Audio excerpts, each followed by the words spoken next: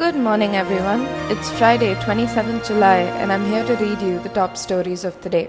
DMK President M. Karunanidhi's health suffered a slight setback on Thursday, and he's being monitored and treated round the clock at his Gopalapuram residence by a team of doctors and nursing professionals from Kauvery Hospital. Meanwhile, Deputy Chief Minister O. Selvam, accompanied by three senior cabinet colleagues, visited Mr. Karunanidhi's house and briefly inquired with his son and leader of opposition M.K. Stalin about Karunanidhi's health condition. On Thursday evening, Kauvery Hospital issued a press release saying that there was a slight decline in the health of former Chief Minister M. Karunanidhi due to age related ailments.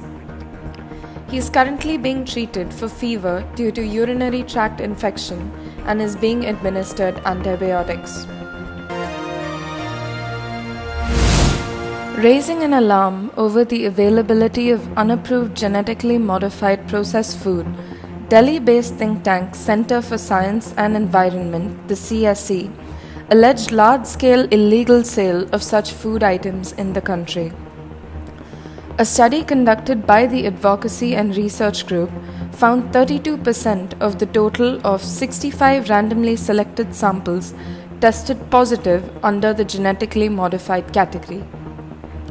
This includes infant food, edible oil, and packaged food snacks. Most of these are imported from the United States, Canada, Netherlands, Thailand, and the UAE. These products were produced from or contain soya, cottonseed, corn, or canola, which are known as the GM crops of the world. Prime Minister Narendra Modi on Thursday met South African President Cyril Ramaphosa, and the two leaders discussed ways to expand the bilateral ties in a number of sectors, including trade and investment, IT, and defense. Following delegation level talks between PM Modi and President Ramaphosa, three MOUs were signed on cooperation in exploration and use of outer space for peaceful purposes, setting up Gandhi Mandela Center of Specialization for Artisan Skills and Agricultural Research and Education.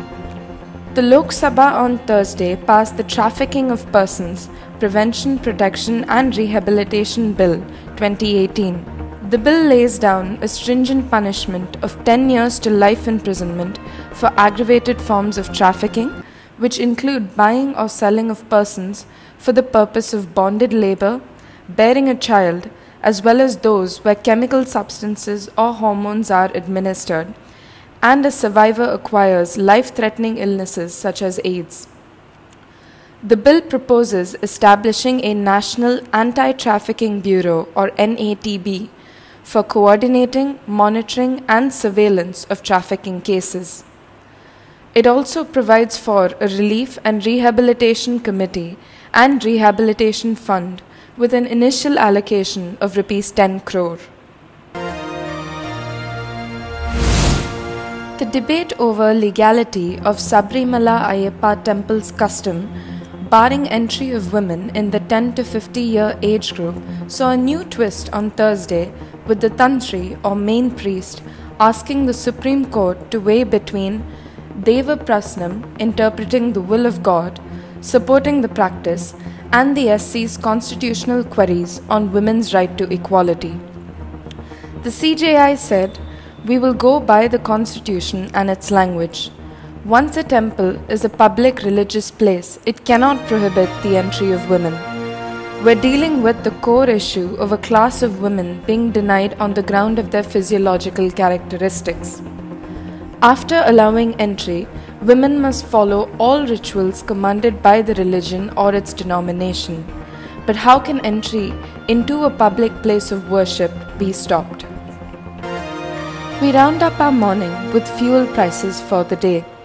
In Chennai, petrol is sold for 79.22 rupees per litre and diesel for 71.63 rupees per litre. In Delhi, petrol is sold for 76.27 rupees per litre and diesel for 67.83 rupees per litre.